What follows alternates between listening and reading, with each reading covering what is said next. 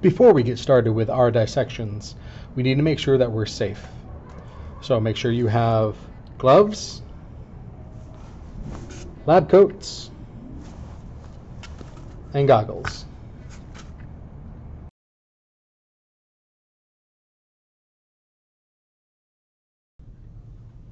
To start the dissection, get your pig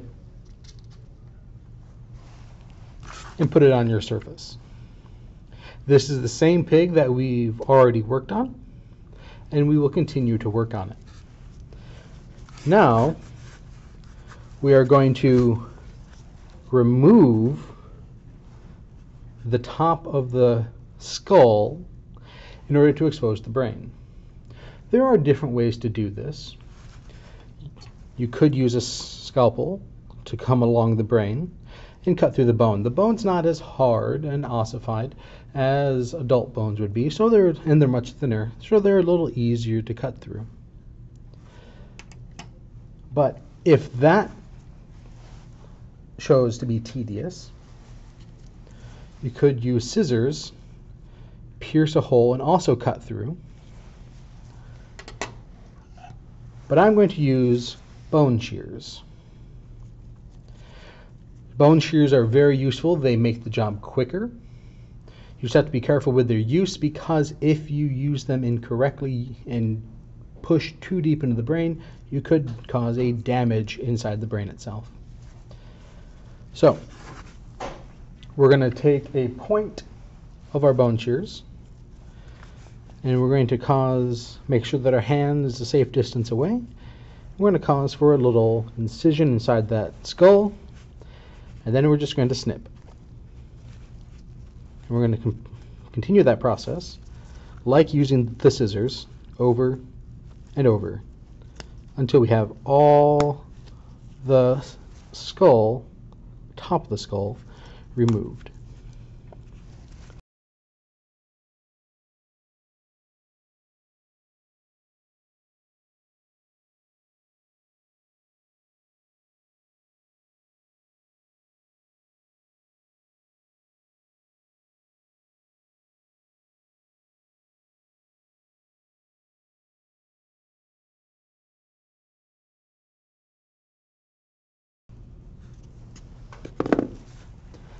Now if we freed it up enough, we should be able to peel off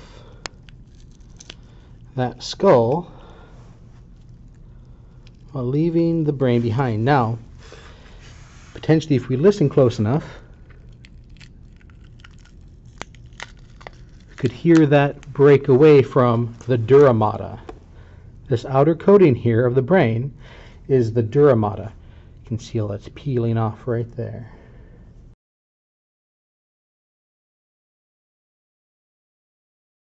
Dura mater is intact. Now, take our bone shears and put them away, and we can bring out our scalpel and cut between the brain and the skull, the sides of the skull, and gently separate out the brain from, in this case, up front, the olfactory nerves.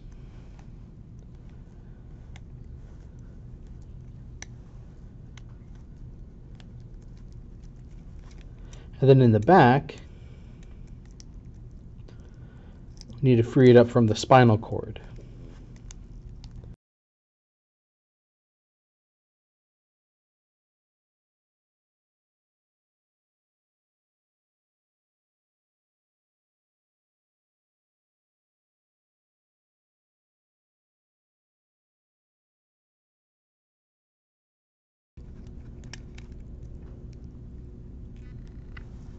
Okay. So now, brains have been removed. You can see up front where we would have our olfactory nerves feed in through the cribriform plate. Then in the back we can see where the magnum foramen and the brainstem would then leave the cranium to go into the spinal cord. Can now put our pig aside and just look at the brain.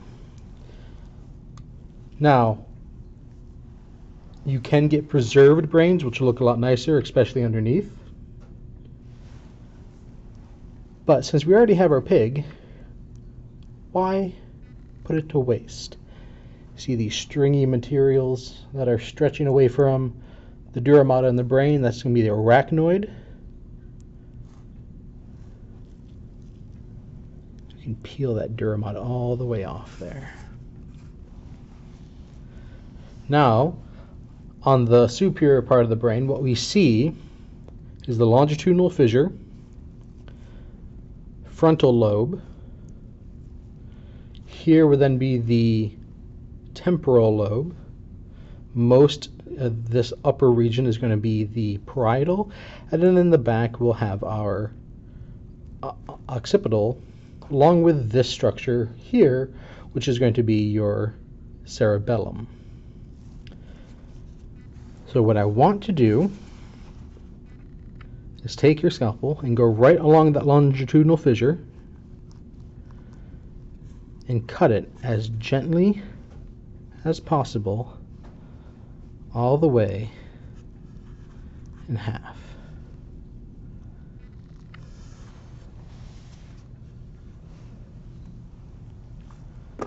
A really nice structure that we can see here is inside the cerebellum.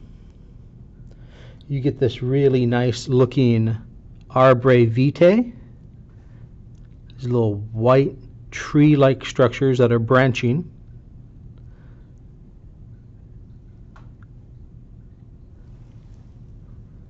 And then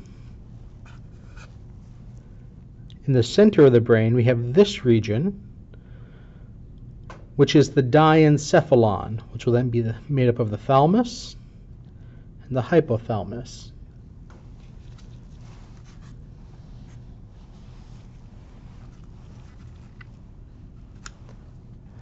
We also have this opening here. It's going to be the third ventricle, which will then lead into the lateral ventricles. And just below, get this a little closer. we have the corpus callosum, which will be the tract connection between the two hemispheres of the brain. Now, let's cut just anteriorly to the diencephalon, all the way through the brain, and this should give us a good image of how deep that lateral ventricle goes. So you can really see that showing up there. Really deep down into the brain in order to allow cerebral spinal fluid to flow through the brain, around and into the brain. It's a really nice structure there. And then, of course, diencephalon leads into the brain stem here, which will be made up of midbrain, this bulbous region right there, which is the pons, and then the medulla oblongata off the back. we see these really nice gyri, these bumps in the brain, and then these really nice deep uh, sulci, these crevices within the brain. More folding within the brain gets us a quicker connection speed of the neurons interacting together. That's a really nice looking brain there. Then clean up and put your pig away.